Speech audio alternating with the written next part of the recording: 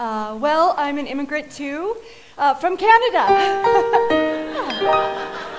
I, uh, um, I just never really talk about it, you know.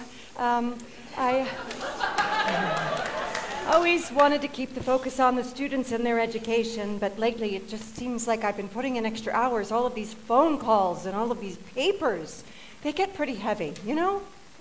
I do. I really do. Thank you for being a mentor to me. Oh, You inspired me. You inspired my opera. I'm a professor now. I'm teaching at Point Park.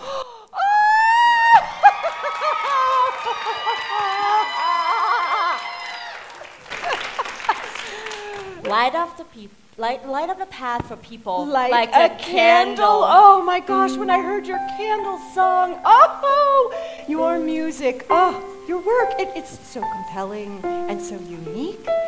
Even more after the scenes we workshopped in our class. Since you're in Pittsburgh, a friend was telling me about um, the CSA program. You should apply. What is that? Um, it's uh, the Community Supported Arts Program. It's at the New Hazlett Theater. I could help you with the application. Oh, really? Absolutely. You know, America needs to be reminded of what makes this country great.